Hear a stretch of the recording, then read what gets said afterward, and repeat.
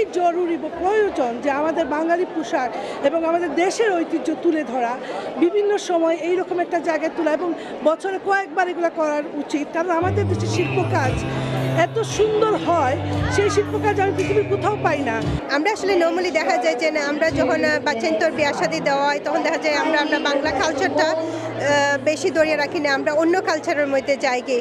But এখানেও আমার কাছে খুব ভালো লাগছে যে এখানে আমরা বাংলাদেশি সপ্তাহ আছে। তো যেহেতু আমরা বাচ্চাইতে বুঝতে পারবা যে আমরা বাংলাদেশি যখন বিয়া হয়, তখন কোন কোন জিনিস লাগে বা কীরকম লাগে? তো এটা আসলে আমার খুব ভালো লাগে যেটা তারা দড়িয়ে রাখছেন। দরকার হচ্ছে এরকম কালচারাল প্রোগ্রাম মাঝে মাঝে হওয়া, যেন আমার বাচ্চারা, আমাদের নেক্সট জেনারেশন যাতে এটা দেখতে পারে, শিখতে পারে। বিভিন্ন প্রোগ্রামে বিয়ের অনুষ্ঠানে নিজেদের যাওয়া, বাচ্চাদের বাসায় না রেখে যেন প্যারেন্টসের সাথে বাচ্চারাও যায়। তাহলে তারা কালচারটা দেখবে কালচারটা শিখবে।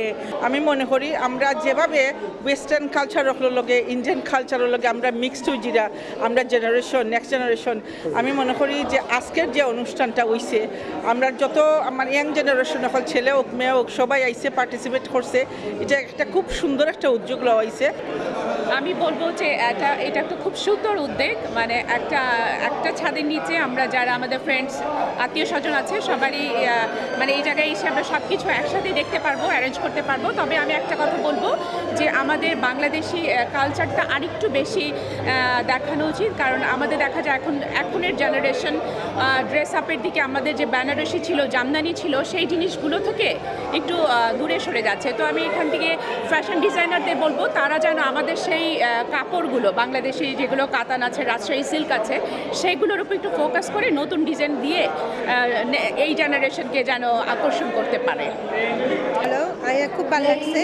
আমি নিজেও একটা শাড়ি নিছি, আজ কিনছি, আমার কাছে খুব ভালো লাগছে, এখানে না, এখানে আইলে আমরা যে, যেটা ঐতিহ্য যে, আমরা যে কালচার আছে যেটা এটা আসলে অনুমতি দেয়া বোঝা যায় যে এটা এখনও জীবিত আছে লন্ডনের মধ্যে। তো এখানে ধরেন অনেক ইয়াং জেনারেশনরা এখানে স্টল দিচ্ছে অনেক ইয়াং জেনারেশন আবার দেখতে আসতেছে। এখানে আমরা ব্রিটিশ বাংলাদেশে যারা সেলিব্রিটি আছেন, আমরা অনেক সেলিব্রিটির আজকে নিয়ে আইছি। So it's a huge crowd হয়েছে আজকে।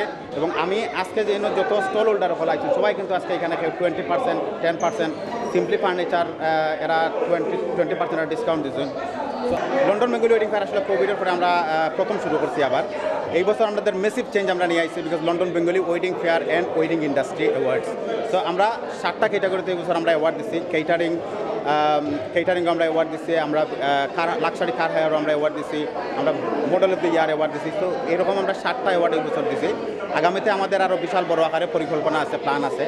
তো অবশ্যই সব- আহ, সবার সহযোগিতা দরকার সবার সাপোর্ট দরকার We're from, we're from Newport, South Wales, and we are the dig- detailed events, and we do luxury wedding stationery.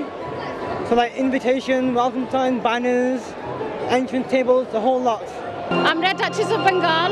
আমরা trading খরম এক মাস ধরে Uh, we get our saris predominantly from India and Bangladesh. And alhamdulillah, we've had a really good turnout so far.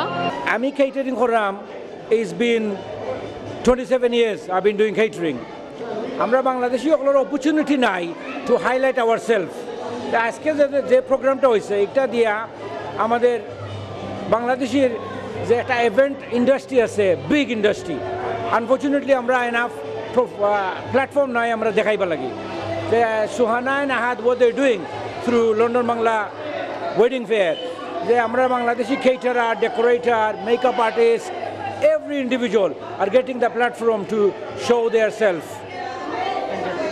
এইরকম show আমরা বাচ্চারা দেখলে তারা উৎসাহিত হইব তারা নর্মালি ইন্ডিয়ান ওয়েডিং দেখে বা পাকিস্তানি ওয়েডিংগুলা দেখে দেখে তারা তারা ফলো করে ইন্ডিয়ান পাকিস্তানিরে আমরা যে আহাত ভাই বা সুহানায় যে একটা কররা ওয়েডিং ফেয়ারটা আমরা যে ইয়ং জেনারেশন বাচ্চারা উঠরা, তারা এইগুলা দেখলে তারাও শিখব যে বাংলাদেশে কীরকম চলে বা কীরকম রে করা।